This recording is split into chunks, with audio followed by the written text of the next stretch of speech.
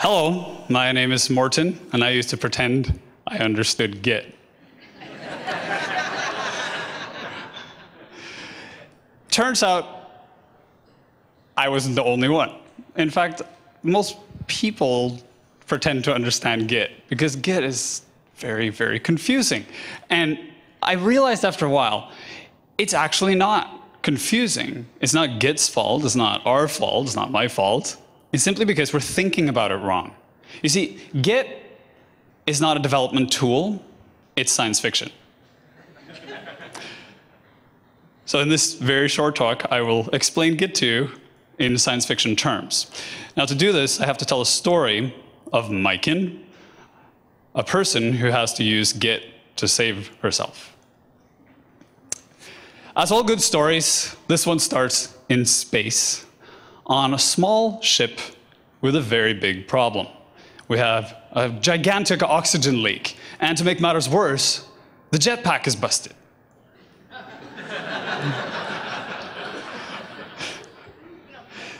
so the air is leaking out. The single astronaut on board, Maiken, is royally screwed. She's screwed because if it was just the air leak, it would be fine she could simply go outside, grab the patch kit on the outside of the ship, and just patch it. The problem is the jetpack is busted and she needs the patch kit to be on the inside of the ship. And she can't really go outside the ship without the jetpack on because that doesn't work. Now, of course, she could solve it if she had her cloning device with her, but that was left at home right before she went into space, so that doesn't work. The only thing she has is the Git console. But with the Git console, all things can be solved. So anytime you do anything, you always want to start by committing. Start date 12042015.2. I am royally screwed. When, when you make a commit, what you are doing is hitting the save button in a game or taking a picture of everything at its current place in time. And then you can always return to it. Once you've done that, you can create alternate timelines. So anytime you do something in life or in programming or anywhere else, you start by making an alternate timeline, you jump to that timeline, and then you can start experimenting. So what do you do when your patch kit is on the outside of the ship, your suit is on the inside of the ship and busted, and you need to do something? Well, you go to the airlock and see what happens if you open it. and you drift into space and turn into space junk and whatever. So that didn't work. But that's not a problem because we are on an alternate timeline. So all you do is check out the original commit. Now you're back where we started. Simple. So we can start over and make a new timeline. Only this time, Maiken takes a precaution. She ties herself to the bulkhead, then opens the, the airlock, lets the air escape, swings herself out the door, grabs the patch kit, stuffs it in the kangaroo purse on her suit, and turns into space junk. but now the space junk has a patch kit, so everything is fine. Because when you're on an alternate timeline, you can always jump back to the original one and then merge the two together. As a result, Maiken did not have a patch kit. The merge happens. Now she does. That means you can patch our jetpack, put on our spacesuit, create a new commit point, jump out into space, fly on over, and grab the patch kit, which you never used in this timeline. Go and create a new timeline, uh, create a new um, uh, alternate timeline, and patch up the air leak. Only problem is, the patch kit is not good enough it only patches half of it. Which is not a problem because she's on an alternate timeline, a branch. And whenever you're on a branch, you can always check back to the original timeline again. Then she can just merge the two together. And now, in her original timeline, she has a patch kit, a half patched air leak, and the ability to go back in time grab the original patch kit again and patch the other half. Now, if you're doing any kind of programming, this is usually where things go wrong. You've started working on a project, then you went, I need to do something else. You made another timeline or another branch, you messed around with it, and you try to merge everything together. And then you get this nice little message saying, there's a conflict, and then you go, delete repository, download, start over. But you see, what's actually happening is Git is saying, hey, uh, you're trying to do two things in the same place. It doesn't actually work. I'm not going to try to fix that for you. You have to fix it. So you have an overlap, and all you have to do is jump into space, find the two patches that are overlapping, and just edit one of them. Make another commit, and everything is fine.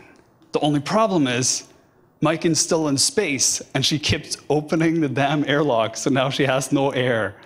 And when you have no air and you're on a spaceship, your friendly AI will tell you, Are you sure you want to do that?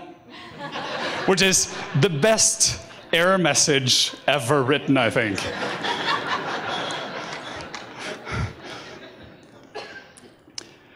Problem, of course, is she has a patched air supply, but no air. But she also started the whole process by committing the starting point, which means you can just go back to the starting point where she has 70% air, recommit it in a new timeline, and rewrite history. If you go into Git and you create an alternate timeline or a branch, and you rebase it, you're in fact applying something that happened in the past to the future. So she goes back in time, grabs air, and puts it into the future. So using Git, she used one patch kit to fix, three different problems and borrowed air from the past to save herself in the future. Like I said, science fiction explains this. Of course, you're all super confused right now. So here is Git in terms of science fiction. See, Git actually solves everything for us. First of all, Git is software, runs on your computer. GitHub is where you store that software in the cloud so other people can collaborate to that software. A repository is your universe. That's where everything lives for your project. A git commit is the save points that you create as you work forward.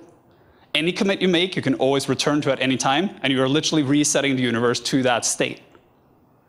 A git branch is an alternate timeline. Once you create branches, you can jump to any branch at any time and any commit within that branch at any time, and you can make as many as you want. A git checkout is a time machine. It allows you to jump between the branches. And it allows you to jump between the, uh, the commit points.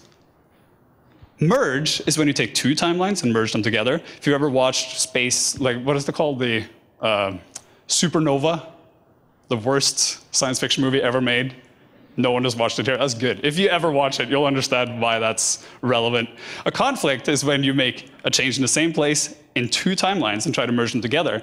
And to resolve a conflict, all you have to do is just go and fix it yourself. Rebase is literally rewriting history. You take one timeline and you stick it on top of another one as if that was always where it was. A fork is when you take one universe and create another universe that's an exact copy. Whereas a clone is if you create an empty universe and then clone the content from one universe into that one.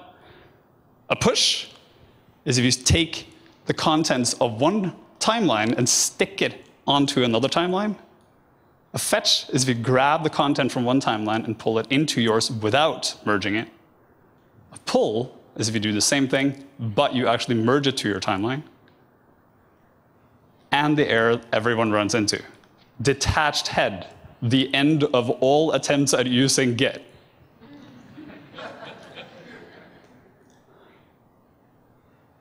all that's happening here is you made a change and then jump back in time.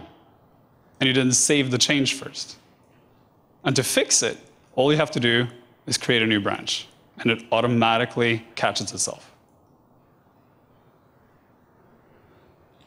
Now, the last thing I'll say is this if you've ever tried to use Git, you likely started in a command line, and that was likely the end of your attempt. so don't let that command line deter you because there are better options. right now we have two. GitHub Desktop, which does everything for you and links to GitHub, and SourceTree, which does the same thing, but also links to Bitbucket. So as you can see, if you think in science fiction terms, Git makes sense. Now that you've seen this, you wish you could go back in time to go like, oh, now I understand. I want to see that story one more time. Good for you. I checked out my timeline before I came here, and if you go to my blog at mor10.com, you can see the annotated version of this entire talk right now if you check it out. Thank you very much.